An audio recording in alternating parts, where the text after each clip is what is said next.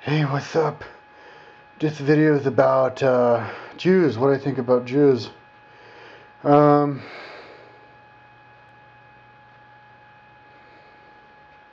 what I think about Jews. Well, Jews are very uh, different. They're like the only people who have their own tale to tell from the beginning of time, from when they were like, like tribe, with just like goats like a family of goats, of people with goats. And then, you know, like Jacob, you know, goes and goes and has to leave his family, you know, in their little village to the next village of like, you know, people who are related to him. And then, you know, they begot the people and they can trace their lineage all the way back to there. You know? All and then they and then at one point they have their own country under Solomon and then they eventually get blasted into five different tribes, and, then they were taken captive with the Babylonians, and then they, you know, escape. And they, I mean, they record their entire history. These people, although, and then they can, you know, and then and then now they're all over the world, and they still have their own country. and there's still people around them who want to like destroy their country. It's just a crazy story. Um, no other no other society has that. Um, I mean, um, you have the Mahabharata, which is way bigger than the, the Bible. Um, only difference is um, the uh, Mahabharata, it's like the Hindus, and you can't really um, uh, trace them back to like one person, one group of people. You know, like it's like, it's not like, it's different. And you, you, can't trace it back to like a family with their goats. Like the Mahabharata, you it's like traced back to way know, before that. The Mahabharata is traced back to frickin' the days of Atlantis, literally. The days of the one world culture. You know how the the uh, this is a whole nother video on what I think about the Mahabharata, which I'll do later, but that's like uh, you know before the Tower of Babel you know, and the spaceships flying around and seriously, Mahabharata's got all sorts of shit like that. And I'll I'll do I'll I'll refer anyways.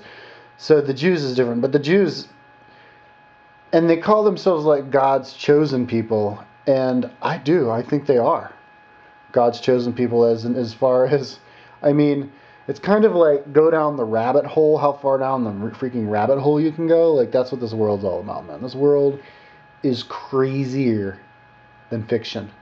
I mean, you look at, think about like Star Wars and how wacky that world is. Oh, wouldn't that be wacky to live in Star Wars? No, no, this is shit is makes is way crazier than that. I mean, God's chosen people, as in little g God, God's chosen people. I think aliens came here and were like, let's choose a tribe of people and let's use them to see if they can bring civilization to the whole world. Um, now, the reason I think that is because, you know, Moses was led by 40 years with the people um, by a freaking spaceship that was flying over their head the whole time, uh, dropping like freaking mushrooms out of the sky for them to eat so they wouldn't starve to death um, the whole time. I mean, gave them a language. I'm like, where did the Hebrew language come from? I haven't Wikipedia'd it. I probably should. But I did watch a video like 10 years ago about languages. The Hebrew language, there's lots of like, um, man, I can't remember it, but there's lots of stuff about the Hebrew language, the letters in the alphabet, that is like indicative of knowledge that you cannot have from that from a primitive time when they put that together. It's clear that somebody gave that language to them. Um, and I think maybe even you know the Greek languages and all those other languages uh, learned from them. I don't. I'm not really sure. I'm kind of talking out of my ass here, but but it, is interesting um, language. Um, and then of course they have the Ark of the Covenant, which is like their little uh, weapon that they used and that they carried around that the aliens gave them. And but the one interesting thing, you know, I made a comment before about how uh, you know God's chosen people, the people who the aliens choose to try to bring civilization to everybody else. You know, one reason racists would say, you know, white people brought civilization to Amer- to the world, you know, and it wasn't blacks because whites are smarter and all this stuff. But I think whites did because they just, you know, that particular culture just was the one, the ones that had the help from the aliens to have the civilization and everything. Um, but as far as like that, you know, I think monotheism is important to have as a uh, society. I think that has a great deal to do with, and that's a whole nother freaking conversation that I don't have time to do in this video, but, um, I mean, it's to have one God, you know. Now I know the, the, the, the, Jews were like, oh, our one God was our God. Even a direct translation would be like our God. But um, it's, uh, I think the original, you know, what the aliens told the prophet is, uh, is, is, is, is one God, like for everybody. It's one God, one God, one God, you know, God is the whole, and what God is, like, you know, the whole universe alive don't uh, sacrifice. You don't have to sacrifice goats. You don't have to um, pray to this imaginary figurine. You know, try not to um, pray to your alien. I don't know. That's just that's just my kind of idea. Um, and then of course Jesus cemented that one. But uh, and and he was a Jew.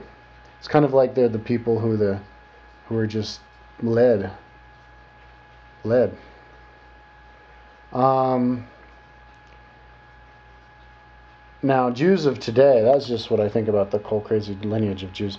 Jews of today, what do I think about Jews of today? Well, I know there's lots of stuff about Jews that's like advanced, more advanced than other people. Like they were the first person who would like lend money, which is, I think, a really important practice, a good thing to get a economy kickstarted, to get a let a um, uh, civilization thrive um, is to lend money to people so they can get businesses started up and stuff, you know. And so like they were the first ones doing that, and that was pretty cool.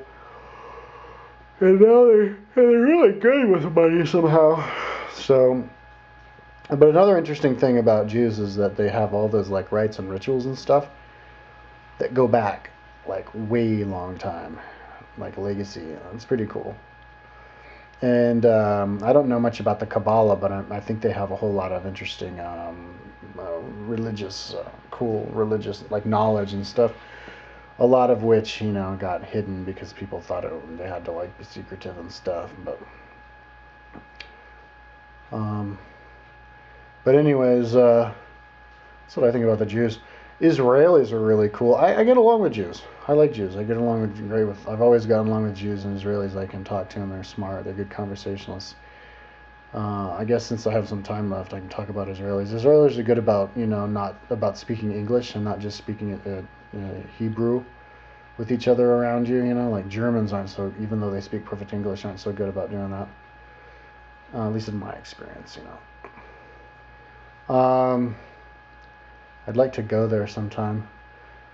I just, uh, that'd be cool if they would just share their money with the Palestinians some more, but I guess they're just worried that they're going to be taken over, but I don't think they'd have to be worried, at least, at least now, especially, you know.